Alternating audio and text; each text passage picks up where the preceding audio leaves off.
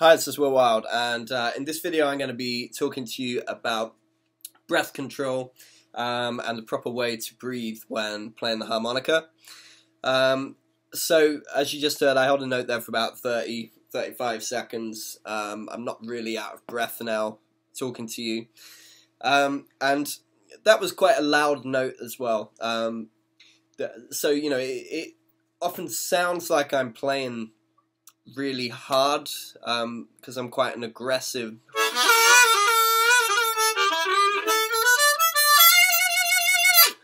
Quite an aggressive player, you know. I'm, I'm quite loud.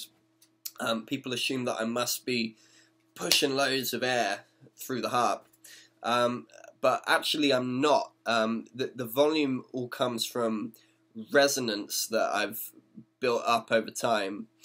Um, rather than from you know using lots of air. In fact, if you use too much air, um, you, will actually get a, a quieter sound, um, or the reeds could even could even choke, uh, and you get no sound at all. Um, so let's talk about the, the proper way to, to breathe when you're playing harmonica. Um, if you ever had any kind of singing coaching as well, then um, it's it's quite similar to that.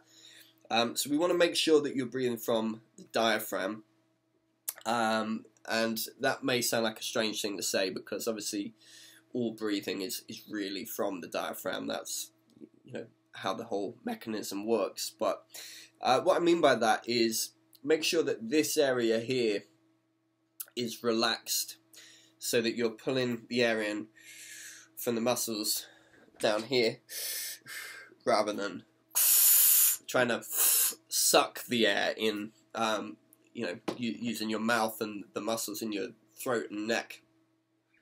Uh, this is why, you know, why we call it a draw note rather than a suck note. If you suck the air in through the harmonica, um, you'll get that horrible, like, pinched sound. Uh, not very nice tone, and the note will probably play out of tune. I'm over exaggerating there, obviously, but. So um, if you look in the mirror when you play a draw note, um, I'm going to be focusing on draw notes in this particular video, by the way. Um, just check these this area here. Make sure that you're not seeing these muscles or tendons or whatever they are coming up. Um, this should stay relaxed and, and open.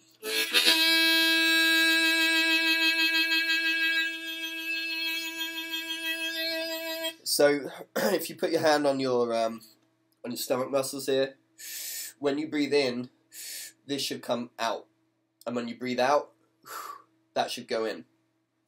All right. Um, so just make sure that this is staying relaxed. You're not squeezing the sound off here.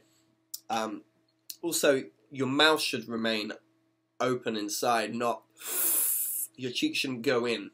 Um, they're going to go in a little bit when you pucker, but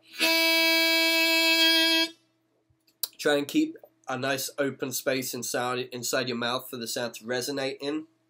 Um, you can think of your body as being like you know like the sound hole on, a, on an acoustic guitar. Um, that's where the sound resonates. Um, so the bigger, more open you can make all of these resonating chambers, the more tone and the more volume you're going to get. Okay, uh, so try and feel the sound resonating throughout your head and throughout your chest as you're playing. Um, this is an A harp I'm using, by the way. so a good thing to practice um, is just holding notes for a long time, like I did at the beginning of this video. Um, let's try a draw six. Um, the higher notes take slightly less air anyway.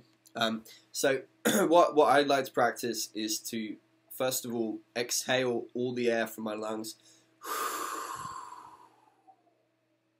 So when you've done that, your stomach should be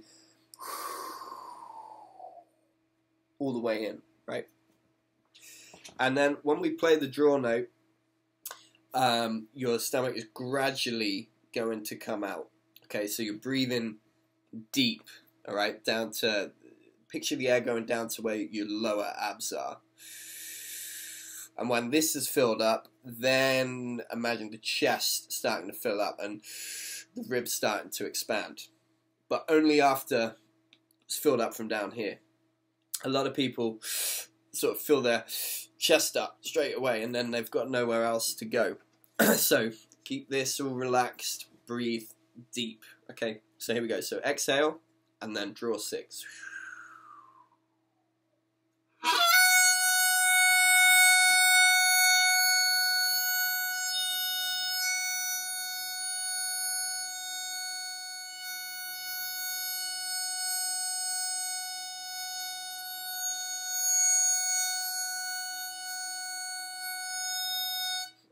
and um, you can time this um, and try and you know try and improve it. Um, when I was doing this regularly, I managed to get up to about 50 seconds on, on a draw note. Um, I haven't been practicing this as much recently, so um, I'm, I'm, down to about 40 seconds at the moment. Um, but you know, if you can hold a note for this long, not only does it improve your resonance and your overall tone and volume, uh, but you know, there's never going to be a time in a song where you need to hold a note for 40 seconds. So um, if you've got licks where there's loads of draw notes in a row, something like that.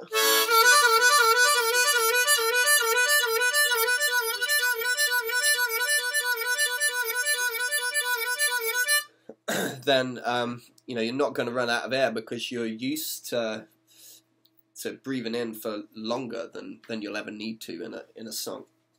Uh, so I think it's a really good thing practice. Um, give it a go. Let me know how you get on. Um, please like, comment, and subscribe below. And I'll be back with another video soon. Cheers.